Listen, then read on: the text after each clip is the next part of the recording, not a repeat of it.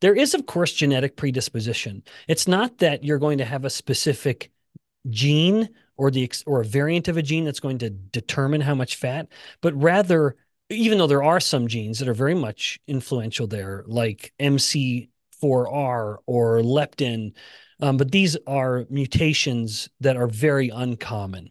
This is not your garden variety. I'm gaining weight or I'm even obese there's no distinct genetic mutation in, in the average version of having too much body fat but there is clearly something familial about it. Even if there's not a distinct genetic pattern if mom and dad are overweight or obese it's very likely offspring will be too. Now you can already see the conflict with regards to environment you know the same environment that's making mom and dad obese is going to be the same environment that this child is being raised in. But even beyond that there is in fact a familial inheritance to this um, not only determining how much body fat gets stored but also even where a person is storing fat. If you are someone who struggles with fat and you look at your parents or siblings and they do too this is just going to be something that is more of a struggle um, there are, of course, um, dietary influences, and indeed, I would say these are the most relevant. Um, but uh, it, it, perhaps the most succinct way of describing the relevance of diet is that there must be two conditions that are met to promote the storage of fat. You cannot have fat storage with only one of them. Um, you have to have both, and those are elevated insulin and sufficient energy. Now, that latter point, I understand it perhaps comes off as a little vague. So let me explain it in the context of the first point sufficient insulin. As I somewhat elaborated on a moment ago, there can there can literally be no fat storage on a human or any animal unless insulin is elevated. It cannot happen. It is impossible.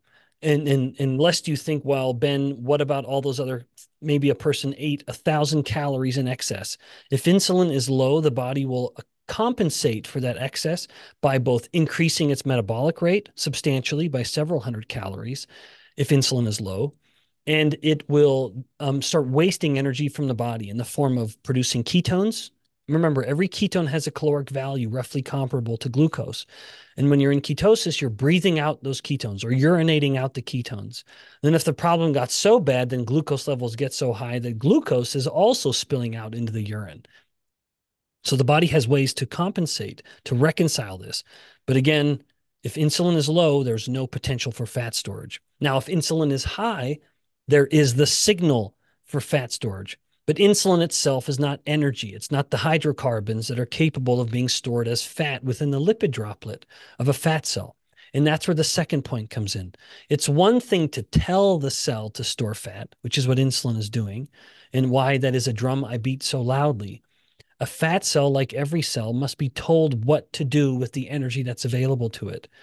Hormones do that, particularly insulin. So, again, it's one thing to tell the cell to store fat, but it's another to actually have the hydrocarbons or the calories, to say it another way, to actually fuel that storage. And that's where the sufficient energy or sufficient calories comes in. So you must have an insulin stimulus to store the fat, and you must have sufficient calories to fuel that storage or provide the bulk of the storage. And then physical activity, exercise is generally irrelevant, to be frank. One of my hopefully clever quips is that you eat smart to be lean, but you exercise to be strong. And so there's not really much to say. Ex, uh, studies that have looked only at physical activity um, find that it, it, it's generally a big failure.